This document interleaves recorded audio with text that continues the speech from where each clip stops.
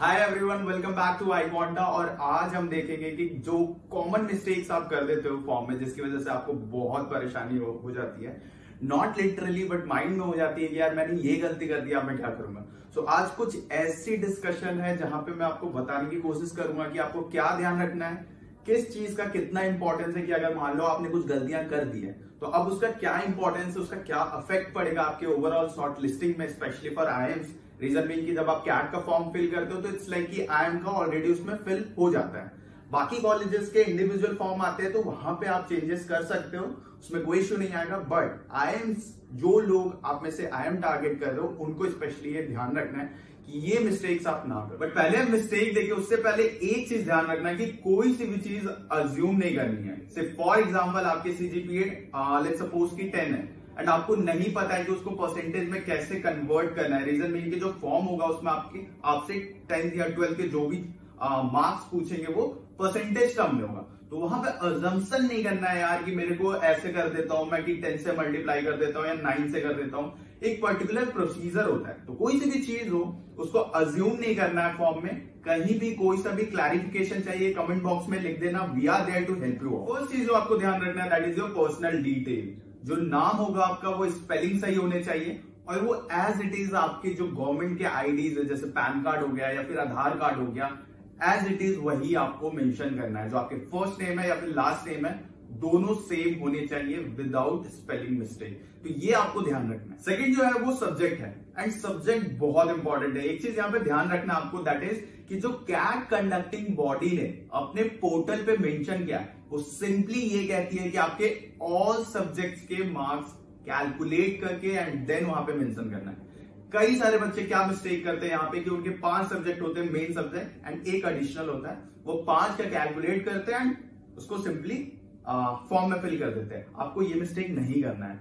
Make sure sure करना है कि सारे सब्जेक्ट्स के आप कैलकुलेट करोगे इक्वली एंड देन जो आपके मार्क्स आते हैं एग्रीगेट मार्क्स वो आपको वहाँ पे कैट के फॉर्म में मेंशन करना है। सीजीपीए कन्वर्जन अब यहाँ पे भी एक चीज़ ध्यान रखना है कि अगर आपके मार्कशीट में टेन सीजीपीए लेट सपोज़ तो आपको वो सिंपली उठाकर नहीं फिल करना है। रीजन बीइंग कुछ मल्टीप्लायर्स होते हैं जिनसे आपको टेन सीजीपीए को मल्टीप्लाई करना होता है एंड देन जो आपके परसेंटेज आते हैं, वो फिल करने होते हैं। मैं एक एग्ज़ाम्पल से समझाता हूँ। सीबीएसई e में सीजीपीए आते हैं, ठीक है? लेट सपोज़ कि किसी बच्चे ने टेन सीजीपीए उनका स्कोर है। टेन सीजीपीए को कन्वर्ट करने के लिए परसेंटेज में सीबीएसई बोर्ड में आपको 9.5 से मल्टीप्लाई करना होता है। नाउ दिस 9.5 इट्स बेसिकली एक मल्टीप्लायर है तो आपको वो मल्टीप्लायर ध्यान से सेलेक्ट करना है। ऐसा नहीं कि आप कुछ रैंडम मल्टीप्लायर उठाया आपने और उसको मल्टीप्लाई किया एंड जो भी आपके परसेंटेज है उसको फिल कर दिया।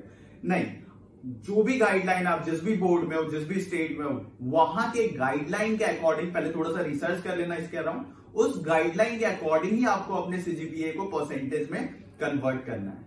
थर्ड इज़ कि जब आप कैट का फॉर्म फिल करते हो तो वहाँ पे आपसे कोर्सेज पूछे जाते हैं कि आपको एमबीए के टाइम में कौन सा कोर्स करना है।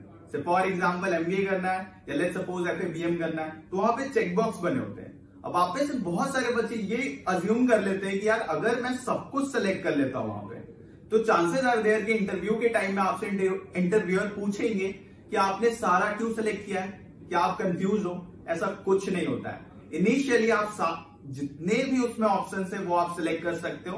लेटर ऑन इंटरव्यू के टाइम में अगर वो पूछते हैं जनरली ऐसा होता नहीं है कि दिल आज क्यों कि आपने एफ़ क्यों सेलेक्ट किया है, अगर आपको एमबीए जाना है। बट अगर वो पूछते हैं तो यू कैन कॉन्फिडेंटली से कि मेरे को एमबीए करना है। तो अभी कैट के फॉर्म में you can select all of fourth one is work experience work experience का कॉलम कैट के फॉर्म में बहुत इंपॉर्टेंट होता है और इसको ध्यान से फिल करना।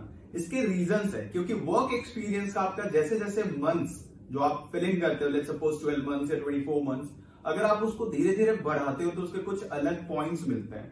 तो इट्स लाइक कि ज़ीरो से ट्वेल्व मंथ्स के बीच में अगर आपका वर्क एक्सपीरियंस है तो आपको एक सर्टेन पॉइंट मिलेगा। ट्वेल्व से ट्वेंटी फोर है तो एक सर्टेन पॉइंट मिलेगा एंड सो एंड फोर्थ तो आपके लिए जो वर्क एक्सपीरियंस है कॉलम है, इसको थोड़ा सा सीरियसली ट्रीट करना है, यहाँ पे कोई मिस्टेक नहीं करना है। सेकेंड इंपॉर्टेंट थिंग कि वर्क एक्सपीरियंस में काउंट क्या होते हैं? वर्क एक्सपीरियंस में आपके फुल टाइम रोल ही काउंट होंगे. सो so, इफ़ अगर आपने इंटर्नशिप किया है या लाइव प्रोजेक्ट्स किया है या पार्ट टाइम रोल में हो आप ये सारी चीज़ें अवॉइड करनी पड़ेगी. अगर आपका फुल टाइम रोल है मतलब आपने किसी के लिए आठ घंटे काम किया है एंड बजाय आपको उसके सैलरी मिली है वो आपका काउंट होगा। And to justify work experience आपके पास डॉक्यूमेंट्स होने ही होने चाहिए। एंड डॉक्यूमेंट्स में ध्यान रखना है कि आपके पास वर्क एक्सपीरियंस होना चाहिए अपॉइंटमेंट लेटर होना चाहिए and third thing salary slip होना चाहिए। देन यू कैन जस्टिफाई कि आपने वर्क एक्सपीरियंस लिया है एक पर्टिकुलर फॉर्म से। Fifth and the most important caste certification related जो भी आपके क्वेरीज है, इसके लिए आप क्या करोगे कि आप कैट 2022 के पोर्टल पे जाओगे एंड सिंपली वहाँ पे अंडरटेकिंग एक ऑप्शन है जिसको आपको प्रेस करना है उसके बाद एक पीडीएफ खुलती है एंड पीडीएफ में कुछ चीज़ें लिखी है। तो उसको आप ध्यान से देख लेना। कास्ट सर्टिफिकेशन के अराउंड जो भी आपकी क्वेरीज है जैसे ओल्ड कास्ट सर्टिफिकेट है तो मैं क्या करूँ? आ, क्या मुझे वो अपलोड करना चाहिए या नहीं करना चाहिए? एक क्वेश्चन और होता है कि मेरा कास्ट सर्टिफिकेट कुछ अलग फॉर्मेट में है एंड कैट के फॉर्म में जो फॉर्मेट है वो अलग है। उसका कोई इश्यू नहीं है। अगर आपके पास गवर्नमेंट से रिलीज़ ऑथेंटिक कास्ट सर्टिफिकेट है तो वो चलेगा, चाहे वो किस भी फॉर्मेट में हो। ये क्यों होता है रीजन मीन कि अलग अलग स्टेट्स में अलग अलग तरीके यूज़ होते हैं। कुछ में हिंदी होता है, कुछ में इंग्लिश होता है। इसका कोई इश्यू नहीं आएगा। अगर आपके पास गवर्नमेंट से इश्यूड कास्ट सर्टिफिकेट है तो it is good to go बस मेक श्योर करना कि वो अंडरटेकिंग वाला पार्ट देख लेना अगर आपके पास ओल्ड सर्टिफिकेट है। और अगर लेटेस्ट है तो वेल एंड गुड आप सिंपली उसको अपलोड कर सकते हो। आई होप ये वीडियो काफ़ी इन्फॉर्मेटिव रहा होगा और आपको कई सारी चीज़ें पता चली होगी। कैट फॉर्म के अराउंड आगे हम कई सारी ऐसी वीडियोस और लेकर आएँगे कैट से रिलेटेड एमबीए से रिलेटेड या पोस्ट एमबीए से रिलेटेड कि वो स्किल सेट क्या क्या आपको रिक्वायर्ड है एक अच्छे करियर के लिए। तो ऐसी कई सारी वीडियो हम आगे लेकर आएँगे। मेक श्योर sure करना है आपको कि आप बेल आइकन प्रेस कर दो नोटिफिकेशन ऑन कर लो एंड सब्सक्राइब बटन प्रेस करना ना भूलना। Thank you